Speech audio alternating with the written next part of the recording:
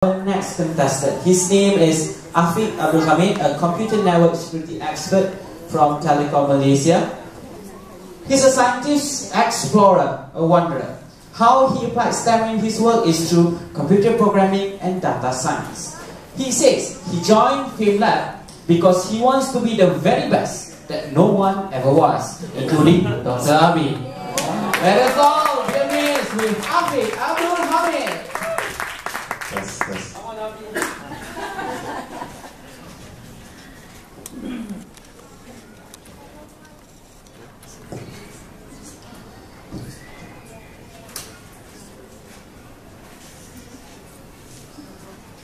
Planet Earth is a prison, and if humanity is to live long and prosper, we must escape it. Additionally, since in 5 billion years the sun will turn into a red giant, making Earth unlivable, means that our days as a single planet species are numbered. The challenge of escaping Earth mainly lies in overcoming the force of gravity. To do this, your spacecraft must go fast enough, about 8 kilometers per second, at such an angle that the curvature of the Earth falls away from you at the same rate as you are falling toward it. Do this 150 kilometers above my head, and you can achieve low Earth orbit. But getting to orbit largely depends on your value of delta V. It's a measure of your spacecraft change in velocity caused by its fuel being converted into energy to produce thrust. This energetic reaction must be controlled in such a way that you don't explode and crash. One device has proven to be the most adept at controlling this violent reaction, the negative potential energy repayment machine, more commonly known as the rocket. This is the Ariane 6 rocket. One small step for rocketability, one giant leap for the European Space Agency due to launch in 2020. She's got two stages that enable her to get a payload of 5,000 kilograms into space. That's about 23,000 Big Macs, mm. or 50 Donald Trumps, or a single communications surveillance satellite. And this is how she does it. First, insert Donald Trump, of course. We launch eastwards near the equator to get a gravitational assist from the Earth's rotation, like a form of giant planetary catapult. Are you ready? Let's go. Launching T minus four, three, two, one. Liftoff!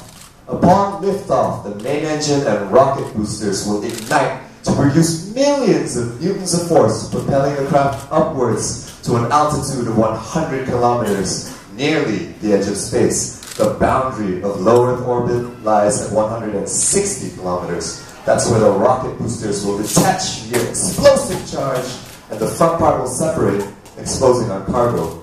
The main engine will burn for another 100 kilometers. We are now in low Earth orbit, where the ISS and Hubble Space Telescope live. At more than 200 kilometers away from home, the main engine will disengage, leaving the upper stage to propel the payload on its final ascent, where it too will disengage, imparting on the payload all the acceleration needed to begin its own orbit.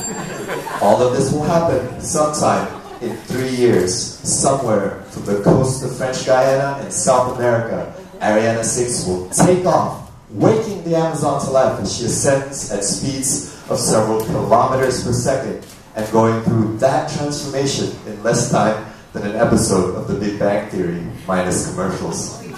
But it's not so certain, though, there exist many pressing world issues that compete for the resources it takes for Ariane to fly. But regardless of the challenges, a large part of the human future will no doubt take place in the great depths of outer space. And Ariane 6 is one step forward toward that future. Thank you. This is what's going to be left of Donald Trump in a few years' time. But before that, let us hear the questions from the judges. Thank you for a very, very engaging talk. Um, not tearing up the noise to do that. Looks like it. Let him do it. It's fine.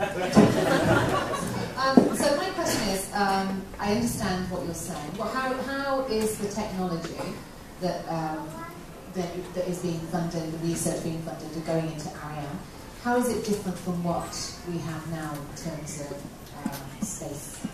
Well, first of all, I'd like you to I'd like to direct you to my YouTube channel where I do have a, a video on additional information on the Ariane 6. But the main objective of the Ariane 6 is to improve upon the efficiency of its predecessor, the Ariane 5, that has been in service for more than two decades now. And the idea behind the Ariane 6 is that we're trying to make it more efficient. We're cutting down launch costs by half.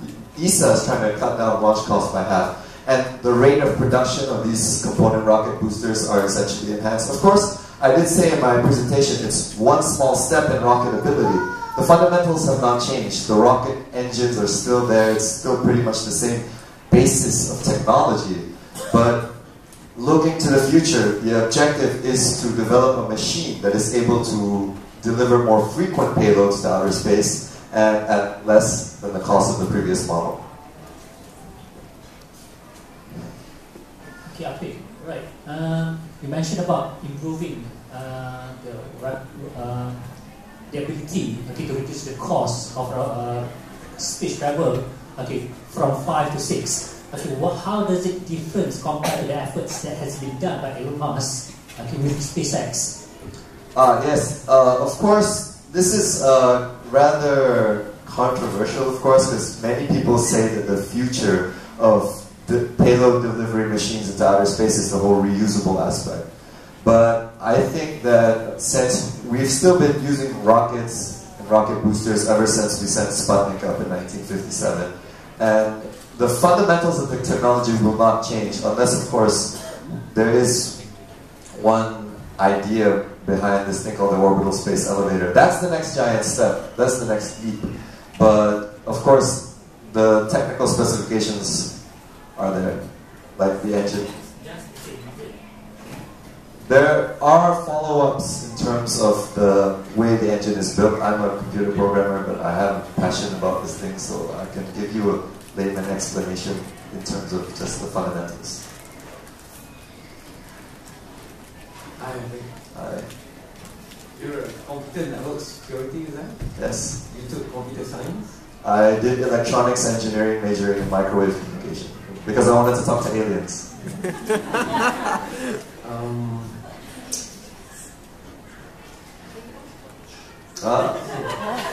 it's tough to ask this question because you know you, you got it made, but uh, I need to test you at international level now. So the Vulcan engine that pilot Ariane 5, and now they're going to DC. So give me the mechanics of that and how that innovation was created because all our universities had their fundings cut. European Space Agency, Agency did the same thing for the rocket launch, which might mean that your aerostructure might get lower because we need costs to propel our satellites up, right? So we're sending more satellites up, our costs will go higher. But they have cut the funding for the rocket booster research program. And yet, they came up with the Vinci idea and the new Ariane 6, despite this cutting cost measure. So tell our good university representative here how you could achieve that in the analogy of Vulcan and also Vinci. Okay, so how the Ariane 6 will be built is that the main engine will be the Vulcan 2.1, and that's the follow-up from the Ariane 5. Uh, the top part will be the Vinci engine, which will be manufactured by an Italian company, Avio. And if this seems rather complicated because it literally is rocket science. but uh, what's your question again?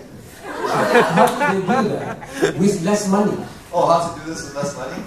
I mean going to the new idea. They- They're not using Vulcan all the way now. They did hydrogen eating thing. How did they, they do it with less money? That's the whole point of your presentation, right? You're going to have a better rocket launch Yes. half the cost. How to build a better How, how did they come to that? How did they innovate that using less money? People were thinking that put more money, you get better results, right? Ah, uh, there are innovations in terms of like the fuel source. The uh, let's see. It's going to use a liquid fuel core over the traditional solid fuel. Exactly. And it will use a cryogenic fuel source, which is a fuel that must exist at cryo must be preserved at cryogenic temperatures because of the low pressures in outer space. And that's some of the. So don't you think young Malaysians like you are wasting the time in computer network security when you could divert your passions you know, if you have the research? My sir, my parents are in the audience, and I tell them that every Parents love you anyway. They say as long as you have a job and that pays well and you get married to a beautiful I'm, girl. I'm a father too, but I'm going to say this to you. Forget everything else. Go out there to Cheltenham. Kick everyone else down the pecking order and be better than Abi because you're already halfway there. There you go, ladies and gentlemen. Yes. Big round of applause again to Afiq.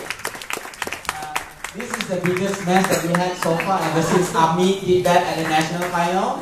You know what he did at that time? He, he dismantled a huge chunk of polystyrene on stage. So it took a while for us to clean it up. Luckily, the, ho- the hotel didn't pen- penalize us. Okay, take, take your time. Yes, please do. In the meantime, I'll, I'll entertain them with. no, I, I, I put some there.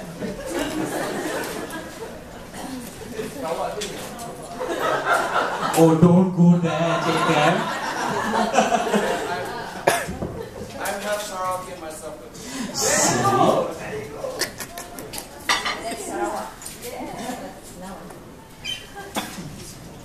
Okay.